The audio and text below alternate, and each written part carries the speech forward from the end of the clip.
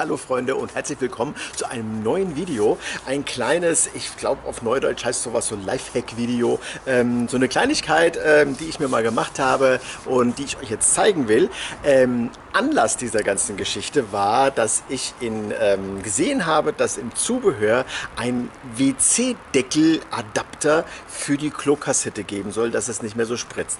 Ihr kennt das, wer eine Soganlage hat, der keine Chemie mehr in, das, in die Kassette tut, der kann natürlich auch seine Kassette zu Hause im ganz normalen WC entleeren. Nur da kommt es, ihr wisst es, immer mal zu Spritzereien, die natürlich ungewollt sind. Das ist natürlich...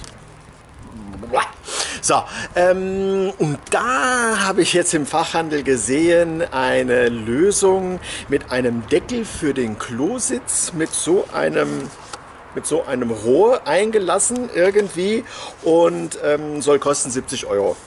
Ich verwende schon seit Jahren dieses kleine Konglomerat an HT-Rohren, 75er Durchmesser, weil 75, dann passt auch ganz genau hier, wenn man den Deckel abschraubt, dass äh, der Ausguss hier in das, in das Rohr und das Unterteil passt ins Loch von der WC-Schüssel.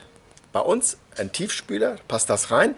Flachspüler habe ich jetzt noch nicht ausprobiert, da muss man dann vielleicht nochmal mit einem anderen Knick, dass das Rohr auch dann da reinpasst und man dreht sich halt dann so rum, dass man es bequem ausgießen kann.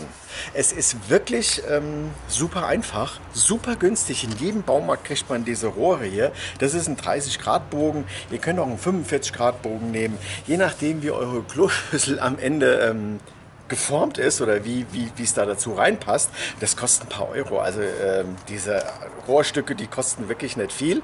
Und aber wie gesagt, es muss ein 75er Rohr sein, äh, sonst passt der Ausguss da nicht rein. So, haben wir schon wieder 70 Euro gespart und sind happy und versauen uns das Klo nicht.